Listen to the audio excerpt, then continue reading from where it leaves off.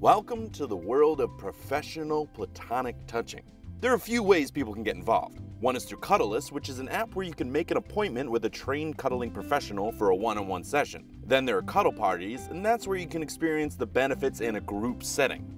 What are the benefits, you ask? The people who run it say the benefits are a feeling of empowerment, working on being direct, improving your listening skills, and learning to respect people's wishes as well as their personal space. To see what professional cuddling was all about and how it could potentially help someone, Cheddar met with the founder and gave it a go.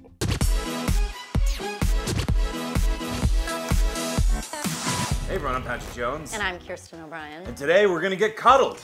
Professionally, um, I don't feel nervous. I'm kind of excited, I don't which believe is that. I don't weird. that at all. And uh, as just like an Irish Neanderthal, touches uh, makes me feel very weird about everything. I just it feels awkward, you know. Uh, do I have permission to? Okay. It's not, you're laughing at me. It's like definitely the whole. Okay, sit over the shoulder. May I wrap my arms around your shoulders? Yes. So, why did cuddle parties get started? Hey, uh, my name is Adam Lippin. I'm the co-founder and CEO of Cuddlist. I really believe that touch is the original medicine. It's our most original healing modality. Touch shouldn't just be for those lucky enough, lucky enough to be in like healthy relationships. Touch should be available for everyone. So there are people who are lonely for whatever reason. Some people that may have gone through a lot of loss. Maybe they're on the Asperger's syndrome and they need to work through issues relating to relating to other people. They're having trouble connecting with others. They're having trouble communicating with others. I have um, clients who are having issues within their relationships. We're looking to address the crisis of loneliness. Loneliness will decrease your lifespan by eight years if you're a man and six years if you're a woman. It leads to depression, anxiety, chronic illnesses. I'm a journalist. you guys buy that, right? I know you're now probably wondering what are the rules of a cuddle party? There's two primary rules. So one primary rule is you must ask and receive a verbal yes before you touch anyone, and we practice that skill. And another is you're not required to do anything here. So when a cuddlist is having a session with the client, that mask of personality disappears. Any expectation of anything happening disappears. So two people are relating to each other as authentic beings. They see each other as authentic beings. That changes the dynamic, and then that's where really, really positive exchange can happen. What about you? How do you feel? I feel good. I mean, I'm a pretty like comfortable person as far as like physical touch.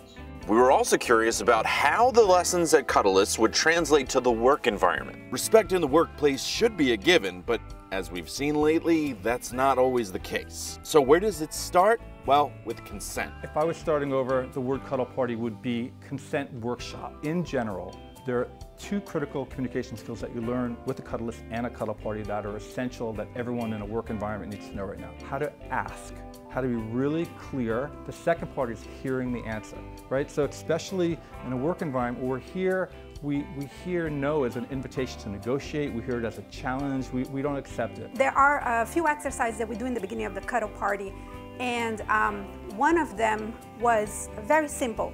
If you're a yes, you're a yes. If you're a no, you're no. If you're a maybe, you're a no. No, thank you. Thank you for taking care of yourself. May I give you a hug? Yes. No, thank you. It seems very simple, but that stayed with me. I was like, wow. You know, especially for us women, um, it's very important to be able to, to say no, to learn to say no, and to not have that no questioned. You don't have to explain why.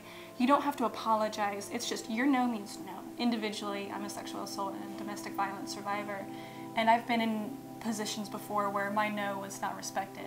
And um, having that respected um, within the opening circle, that, like, I sobbed afterwards. That was a very healing experience for me.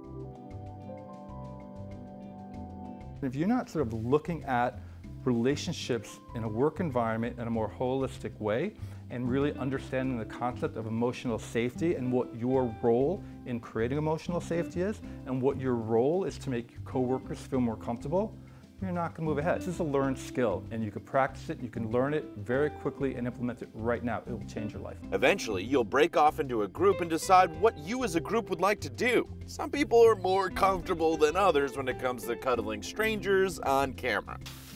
Shake hands? That's amazing. Yeah, we can start with, with shaking hands or touching hands. We all do it together. Okay. All right. I go yes to that. I'm a yes to that. I'm a yes. Okay. All right. Okay. make a circular, like. Okay. There you go. Nice. Okay. This I, feels safe. I just want to point out that Yeah. this was Patrick's idea. okay, we're all gonna do that. Great.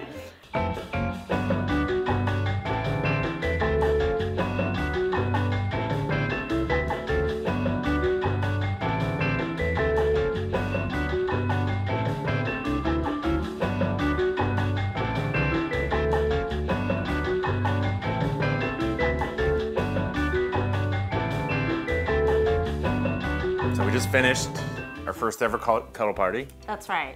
How do you feel? I feel good. I feel really relaxed. It was like a much more affordable massage in a way. Nice. Yeah. I feel acutely aware of how uptight I am. like, But you learned something about yourself. I did. I think the the whole idea of asking women actually what they want and like that there's there's kind of some confusion around that. I think the cuddlists, cuddle parties could be beneficial to a lot of people, both for work environments, uh, personal relationships. I think it could really be great, and it was it was kind of fun. It's a good place to be uncomfortable. Yes. Uh, I'm Patrick right. Jones, I'm Kirsten O'Brien. and this has been Cheddar Tries Cuddle Party. Let us know your thoughts or tips in the comments below, and please like and subscribe.